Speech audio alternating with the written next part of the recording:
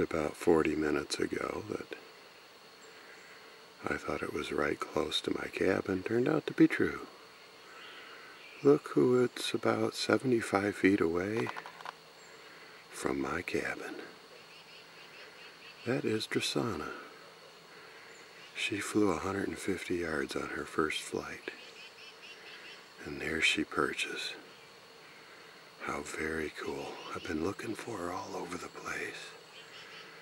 I ran to my neighbor's, the one where the tree is, looked all around the bottom to make sure she didn't fall. I didn't think she did. But uh, I heard her come in. I looked around, didn't see her. She's so dark feathered when she gets up in the trees, it's hard to see.